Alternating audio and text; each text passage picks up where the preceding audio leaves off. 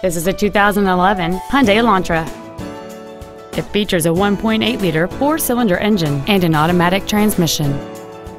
All of the following features are included. A low tire pressure indicator, traction control and stability control systems, heated side view mirrors, tinted glass, an anti-lock braking system, front multi-stage airbags, rear seat child-proof door locks, a rear window defroster, a keyless entry system, and this vehicle has fewer than 43,000 miles on the odometer.